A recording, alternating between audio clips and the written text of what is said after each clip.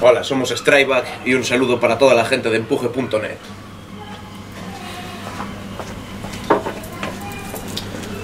Hola, soy Rubén Novo de la página empuje.net y hoy estamos entrevistando a Strayback, que son, lo tengo aquí la chuleta, porque recuerdo de algunos nombres y de otros no, pues son Liber Boff, eh, Batera, eh, Alex Guitarra, Billy Bajo, bueno, Alex ahí, vale, pues me equivoqué, Alex, Alex ahí, guitarra, guitarra Rafa y Pili Bajo, bueno. Eh, bueno, una entrevista así un poco improvisada que estamos haciendo y tal aquí en el Baobat, en la calle San Lorenzo número 2 de La Coruña. Y bueno, pues el que quiera, bueno, tú Liber, como es el cantante tienes que lidiar con estas Hay cosas. Que, hay, que, hay que subir. Pues explica, bueno, tú eres el guitarrista de Wolf of Tears y ahora mismo montaste este grupo, eres el cantante y todo este rollo. Y bueno, ¿cómo empezó la historia? ¿Cómo se te ocurrió? Y cómo... Eh, bueno, realmente el que te puede contar la historia de Strayback real es Rafa, porque él es el fundador, el miembro fundador. Sí. Entonces le vamos a dejar a él. Bueno, pues nada, en plan, yo estaba con ganas en plan de montar un grupo así trasero y tal. Y empecé a buscar a gente, en plan, encontré a Pili que estaba tocando en Andras de aquella, en un grupo ahí un poco folk y estas rollos. Alex, que ya lo conozco de toda la vida, en plan que sé que tocaba la guitarra. Y bueno, en plan, o sea, me encontré de borrachera por ahí le dije, ¿qué sabes? ¿Tocas la batera? Sí, probamos, sí, puta madre. Y fue así, quedamos todos juntos y empezamos a componer algunos temillas y tuvimos que buscar voz. Eh, vinieron algunos cantantes, uno que cantaba así, ¡Ah! que, que, que dijimos en plan, cantas bien, pero no. Y al final vino Oliver y dijimos. Y ahí se quedó. Pues un poco, fue un poco de rebote la cosa. Vale. Y bueno, el primer bolo que diste creo que fue en el Filomatic, ¿no? Fue la primera actuación. No. No, No, en Coruña. Fue en Viveiro. En Viveiro. En Coruña fue la del Filomatic, ¿no? Sí. Pero la primera No, fue en Green. No, la, primera actuación Fue nuestra fue en Viveiro primero Sí. y después tocamos en la Green, en un festival que montó López, no sé, y tocamos dos veces seguidas en la Green, de hecho. Sí. Después... De hecho, tiene, tiene mucha coña el primer concierto que dimos, porque Sí. estábamos preparando el, el bolo de, de la Green de Coruña, en el local de los Mayos de aquella. Y bueno, nos llamó López, así con voz de apuro y nos dijo, guau, se me acaba de caer un grupo, podéis venir vosotros a tocar el mismo día, eh, cuatro horas antes del concierto. Sí. Y dijimos eso, hay que ir, cojones. Sí. Fue una experiencia cojonuda, ¿no? Sí, la verdad es que fue la, la. Vale. Y bueno, el último que habéis dado creo que es este de Última Tensión, ahí en Pero no, tampoco. Tampoco. Tú estás por contradecirme, todo. No, tocamos en el Resu, en el escenario Arnete, Sí. Eh, Brincadeira. y en el Brincadeira después, el domingo. el Sí, día- en Coruña el de Última Tensión. Ah, sí, Coruña, sí, ah, sí, Coruña sí, fue la sí, sí, capital. o sea, sí, tocaste sí. en Última Tensión y luego habéis tocado en el Brincadeira y solo otra vez. En el Resu, en el. Y en Lugo también la semana pasada. Vale, y mañana tocáis en Ferrol, Sí. Y tal. Y bueno, ¿y cómo han sido vosotros estos conciertos así que habéis dado en el Brincadeira? Bueno, también os parece que, como quien dice, acabáis de empezar y, y bueno, y que ya podéis, habéis tocado en el Resurrection, en el Brincadeira y tal, o sea, lo que empezasteis como hace unos meses, ¿no? No, no lleváis mucho más. Bueno, llevamos ya casi dos años. Sí, Pasa que bueno, el primer año fue el primer año no hicimos, no hicimos, estuvimos sin Sí. cantantes, estuvimos haciendo los temas, no dimos ningún concierto ni nada. Lo que es ponernos en serio empezamos hace un año y, Sí. y sin parar tirando por el ya, ya te digo que un poco así a la luz pública todavía no, no os habíais movido hasta ahora, ¿no? O sea, el grupo estaba... Este gira verano empezó. No habíais salido todavía así, digamos, de cara a la gente, a los fans y todas estas historias, ¿no? No, y tal, y ya, bueno, ya empezar y ya enseguida ya, pues en el Brincadeira, en el, en Resurrection, ¿qué, qué tal? ¿Qué, ¿Cómo os fue? ¿Qué, qué pensasteis? no sé, en el Resu, plan, estuvo, a ver, estuvo, la experiencia estuvo guay.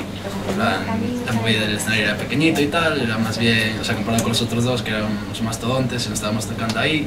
Y la verdad tuvimos muchísima suerte con el horario, porque nos coincidió de tocar justo, justo después de Crisis, en el intervalo en que no había nadie, entonces nos Sí. quedamos, estábamos tocando, miramos para arriba y Sí. Más una gente. Sí, sí, sí. y fue, tuvimos esa suerte y la verdad... Claro, además era el público objetivo que nos interesa, porque Crisis es tra- es tras también, entonces todos los que salían de Crisis se quedaron a, a vernos y eso fue la hostia. Sí, sí, sí. Bueno, cuando os vi en el Ultima Tension habíais hecho versiones de, de Exodus, habéis hecho Creeping Death de Metallica y bueno, tú dices que eh, querías montar un grupo de thrash metal, o sea, en ese punto queréis hacer thrash metal puro o queréis luego hacer otro tipo de metal con otras influencias o queréis ser un grupo eso de thrash metal más ortodoxo y tal, ¿qué es lo que buscáis ahí? Nosotros no, o sea, no, no buscamos nada, sinceramente. Solo plan, pillamos, tocamos lo que nos sale, llevamos los riffs ahí, metemos las bateras y no es en plan, "Buah, esto es demasiado tal, esto es qué". En plan, lo que sale, sale. En plan, que nos influencia muchísimo los grupos de, de thrash metal clásico, sí. También nos influencian otros muchos grupos, bueno, yo, Mm. Death metal, black Sí. metal, que sé, rock, en plan, influencia todo. De todo, sí. Sí, Sí, pero la, por ahí- la base es esa. La- Y por ejemplo, ¿nombrarías algún grupo así que sea capital? No digo que lo queréis imitar, me refiero que sea capital para vuestras influencias musicales y tal. Los Esos, los Metallica, o algo, no Sí, sé. una mezcla un poco de todo, desde Pantera hasta, yo qué sé, Angie, sí, Lamb of God incluso, sí. Sí. Todos esos grupos, vamos, que están ahora. Mm. Y nada. O sea, eso, intentamos... La cosa, sale, la cosa sale bastante clásica de todas formas. Sí, Por lo menos eso dice la gente. Ya, y bueno, y ahora planes futuros, bueno, después mañana tocáis en, este, en la sala Super 8, en esto que hay tres grupos de metal, en la sala Super 8, y después un poco que tenéis pensado. Eh, de momento tenéis disponible algo grabado para de cara a la gente. ¿vale? Sí. Tenemos, tenemos lo de una- un EP que grabamos ahí con Paco, entre Sí, boadas. Sí, Muy rápido, o sea, en una tarde, eh, cuatro o cinco horas, ni siquiera grabamos uno por uno, grabamos todos juntos y solo sigo esa parte. sí. Es decir, para que la gente pueda hacerse una idea de lo que es Straiba, ahora de cara a todos los conciertos. Pero el objetivo principal es ahora acabar todo, ahora que acabamos todos los bolos. Tenemos el 29 de septiembre en la Mardi con Gauntlet, un grupo de Madrid. Y después de eso, todo lo que ahorramos de, de los conciertos, grabar bien. O sea, grabar un disco ya en El EP ahora condiciones. cómo se puede conseguir, quien lo quiera tal, como... tenemos en el MySpace disponible Claro. cuatro, canciones, que Sí, es gratis. sí. Y bueno, después también, si a alguien le interesa, se podemos dar nosotros. Sí, MySpace como es la dirección, dila para que la sepa Ah, la gente. bueno, myspace.com slash strikeback metal band y ya está. Vale. Y luego la posible grabación de este bueno disco ya más en serio, ¿lo tenéis planteado para alguna época determinada? ¿O ya se verá? O... Si sale, si sale todo como debería, Sí, o como creemos que salga, en enero debería de salir ya Sí. a la luz. De todas formas, aún quedan cosas que, que pulir. Queda muchísimo que hacer Aunque todavía, algún tema que estamos componiendo para, para el disco también, así que supongo que a principios del año que viene podremos. Vale. Eh, temas del EP irán en ese disco serán todos temas nuevos, todo canciones nuevas serían. Son los temas que estamos, o sea, los que están en el primer EP, Sí, que es lo que está en el MySpace, Sí. y luego, además de los que tenemos ya grabados con Paco, dos o tres más.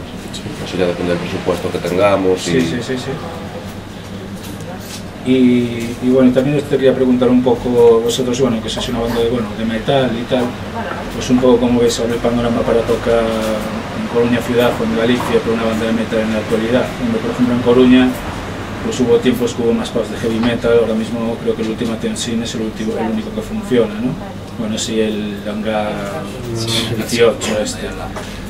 Pero bueno, hubo tiempos con más locales de, de metal y de heavy metal y tal, y ahora bueno, ahora digamos que escasean y tal, eh, para tocar o incluso para escuchar música metal. Entonces, un poco cómo lo, cómo lo veis vosotros, cómo está la situación ahora mismo para la música metal en Coruña, en principio, de dónde sois, o, o un poco cómo lo veis en Galicia. Pues, pues, en principio, yo después de lo que hablamos el otro día, tocamos con un grupo de Madrid, en Lugo, nos dijeron que allí estaba mucho más jodido, en plan, aquí tenemos la oportunidad de movernos, quieras que no, entre las provincias, Sí. y pues tocar en Ferrol, en Santiago, queda al lado. En plan, pero en Coruña, Coruña mismo, es verdad que ahora, antes tenías la, la Inox, que era la Ragnarok también, tenías, bueno, la Mardi que está ahí, la Green, cuando daban conciertos, y ahora es verdad que hay mucho menos, ahora solo la Filomatic o, Sí. o Le Club incluso, y la Mardi tienes que pedir, pensar mucho antes. Además Claro. que subieron los precios del alquiler de sala una barbaridad. Sí. Entonces, claro, está más difícil la cosa. En Coruña Sí. ya empeoró la cosa. Pero bueno, de todas formas está, está bien. Luego, Sí. Además, si te vas para, vas para Santiago y tienes gente totalmente nueva. Te vas para Ferrol, que está a media hora, tienes gente totalmente nueva. Siempre te va a venir a ver gente diferente, porque no es solo Un en rango de 60 kilómetros. Sí. Y luego en cuanto a lo de, ya como en plan fan de música metal, lo de, de tener un local para escuchar metal, eso como veis que ya estáis ahí en el desierto. Eso está podrido. Está Coruña está podrida en ese sentido. Está todo. Sí, como dices, ahora surgió el Ultimate Scene, Y- este y gracias que, a Dios, que, ¿no? que está bien, y si no, bueno, siempre tienes el Sam Rock eh, por Sí. la tarde, pues si no, lo demás no solemos ir. Y, Ya.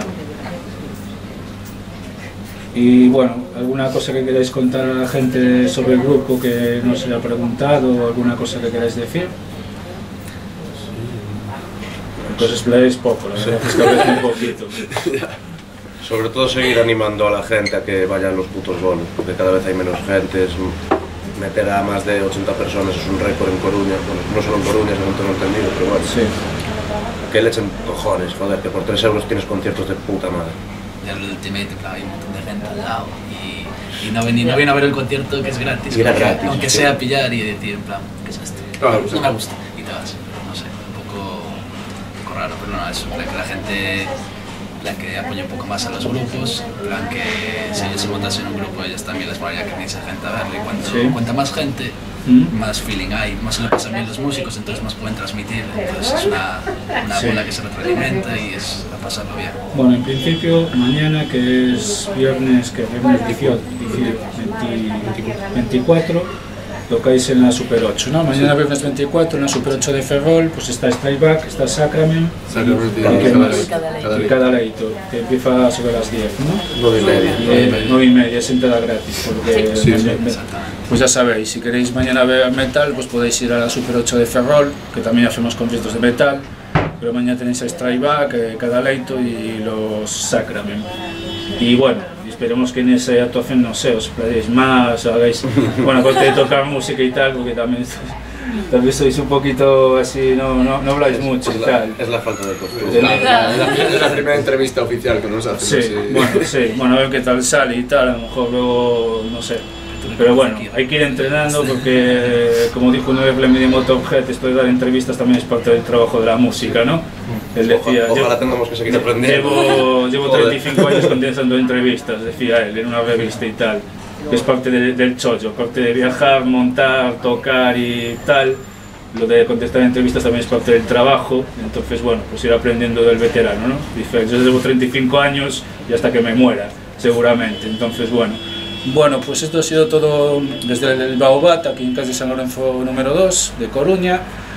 Y bueno, la siguiente entrevista tendremos con Fernando Feide y más músicos que pasarán por aquí. Y bueno, despediros de la gente de que os está viendo. Fucking cross! Vale, muy bien. Eso sí que se nos da bien.